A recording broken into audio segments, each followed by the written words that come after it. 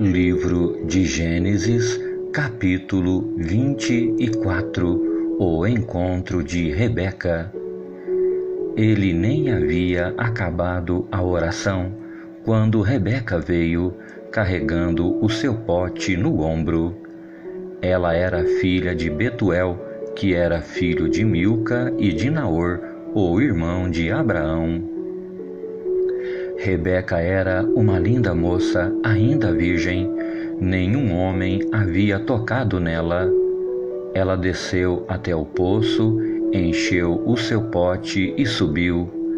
Então o empregado de Abraão foi correndo se encontrar com ela e disse: Por favor, deixe que eu beba um pouco da água do seu pote. O senhor pode beber, respondeu ela, e rapidamente abaixou o pote e o segurou enquanto ele bebia. Depois de lhe dar de beber, a moça disse: Vou tirar água também para os seus camelos, e lhes darei de beber o quanto quiserem. Rapidamente ela despejou a água no bebedouro e correu várias vezes ao poço a fim de tirar água para todos os camelos. Enquanto isso, o homem, sem dizer nada, ficou observando a moça para saber se o Senhor Deus havia ou não abençoado a sua viagem. Quando os camelos acabaram de beber, o homem pegou uma argola de ouro que pesava seis gramas e colocou no nariz dela. E também lhe deu duas pulseiras de ouro que pesavam mais de cem gramas. Em seguida perguntou: Por favor, diga quem é o seu pai. Será que na casa dele há um lugar para os meus homens e eu passarmos a noite?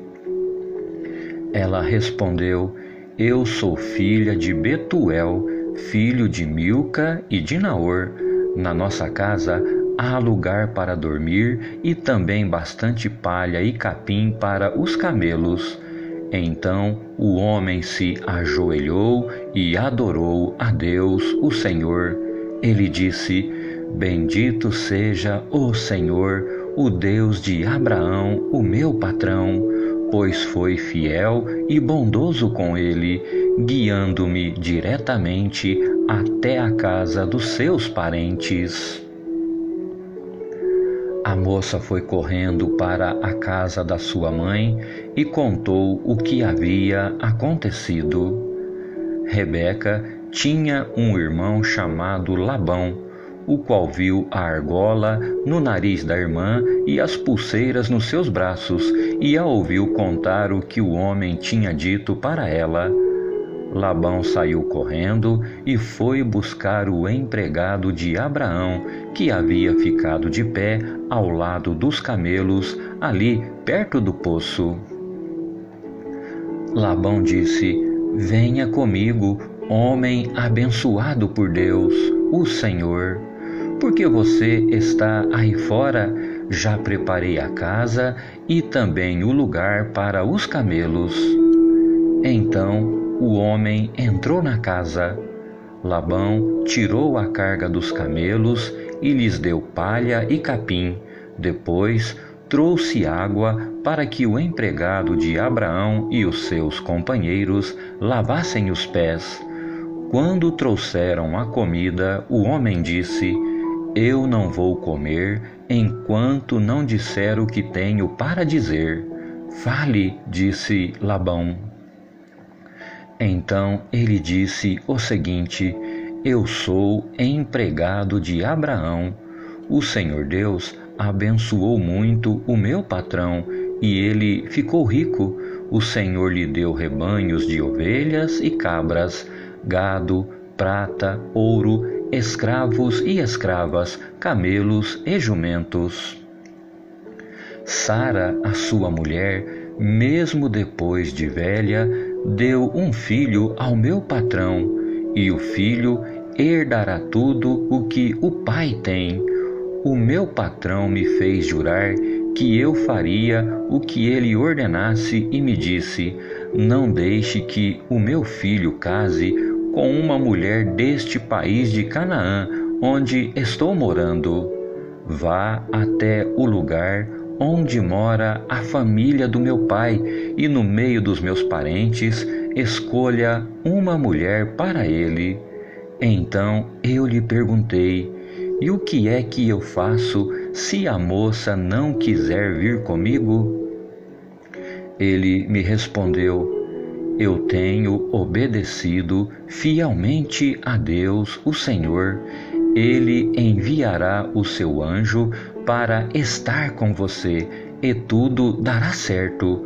No meio da minha gente, na família do meu pai, você escolherá uma mulher para o meu filho. Se você falar com os meus parentes e eles não quiserem dar a moça, então você ficará livre do juramento que me fez.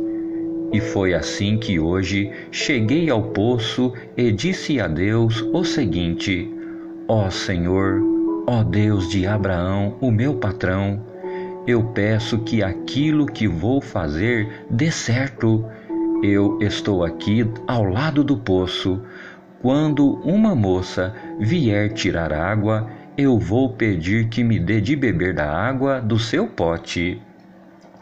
Se ela concordar e também se oferecer para tirar água para os meus camelos, que seja essa a que escolheste para ser mulher do filho do meu patrão.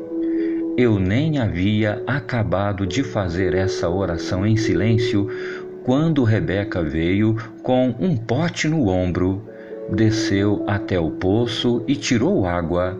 Aí eu disse: Dê-me um pouco de água, por favor.